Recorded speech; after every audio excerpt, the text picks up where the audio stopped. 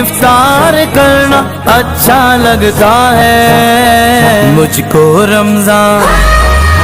मुझको रमज़ान का महीना अच्छा लगता है। रमज़ान अल मुबारक के मुकदस माह में सेक्रेटरी गुड गवर्नेंस तहसील खानपुर साजिद नदीम की जानब से हसब सबक जामिया मस्जिद बिलाल पिंड मनीम में रोज़ाना की बुनियाद पर अफ्तार डिनर का सिलसिला जारी। रमज़ान। निखरा निखरा हर एक चेहरा। माहे रोज़ाना अफ्तार डिनर के मौके पर सेक्रेटरी गुड गवर्नेंस तहसील खानपुर साजिद नदीम दोस्तों के हमरा खानपुर रोड से गुजरने वाली गाड़ियों को रोककर अफ्तार डिनर की दावत देते हैं जिसकी वजह से सैकड़ों अफराद अफ्तार डिनर में शामिल होते हैं। रोज़े रखना।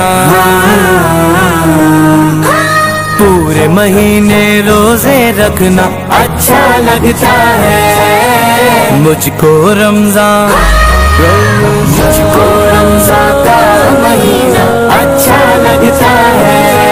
इस मौका पर मीडिया से गुफ्तगू करते हुए सेक्रेटरी गुड गवर्नेंस तहसील खानपुर साजिद नदीम ने कहा माए मुकदसा में अल्लाह की खुशनुदी और अल्लाह के दिए हुए माल में से अल्लाह की राह में खर्च करना एन इबादत है।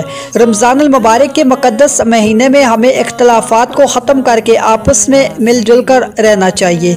उन्होंने कहा, रोज़ा सिर्फ़ भूख और प्यास बर्दाश्त करने का नाम नहीं, बल्कि दूसरों के एहसास और जज्बात का ख्याल रखने का नाम है।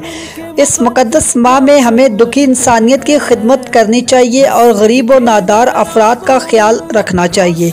दुआ गो हूँ, अल्लाह ताला हम सबको माए मुकदस के फैज़ व बरक़ात से नवाजे और रमज़ान मुबारक के दौरान रोज़ों समेत तमाम इबादतों को अपनी बारगाह अकदस में शरफ कबूलियत बख्शे। Naveed Padni, Azara media link, Khanpur.